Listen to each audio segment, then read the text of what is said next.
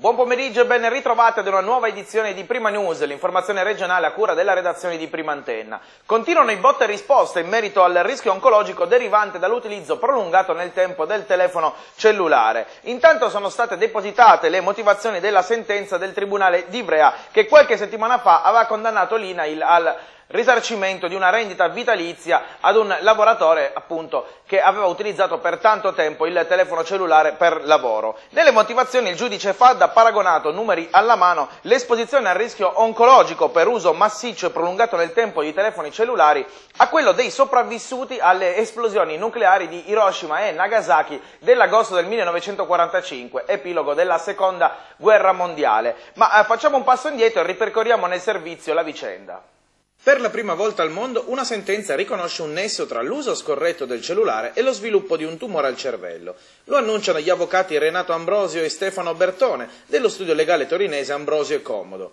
Il Tribunale di Ivrea ha infatti condannato l'INAIL a corrispondere una rendita vitalizia da malattia professionale al dipendente di un'azienda a cui è stato diagnosticato il tumore dopo che per 15 anni ha usato il cellulare per più di 3 ore al giorno senza protezioni. La sentenza riconosce il legame causale tra un tumore al cervello e l'uso di un telefono cellulare, spiegano gli avvocati Renato Ambrosio e Stefano Bertone, che hanno vinto la causa. Il verdetto è stato emesso dal giudice Luca Fada del Tribunale di Ivrea lo scorso 11 aprile. Il dipendente della Telecom, Roberto Romeo, che si era ammalato di un neurinoma, spera che la sua causa e la sua esperienza siano d'aiuto. Non voglio demonizzare l'uso del telefono cellulare, ma per evitare quello che mi è successo bisogna saperlo utilizzare in modo corretto. All'inizio pensavo di essermi preso un'infezione all'orecchio, ma poi ho capito che la cosa era ben più grave. Speriamo che la sentenza spinga ad una campagna di sensibilizzazione che in Italia ancora non c'è, così afferma l'avvocato Stefano Bertone. Le sentenze si leggono con attenzione, premette il direttore generale dell'INAIL Giuseppe Lucibello, intervenendo a margine dell'inaugurazione della nuova sede regionale dell'INAIL, da oggi tornata, dopo 30 anni, in corso Galileo Ferraris 1.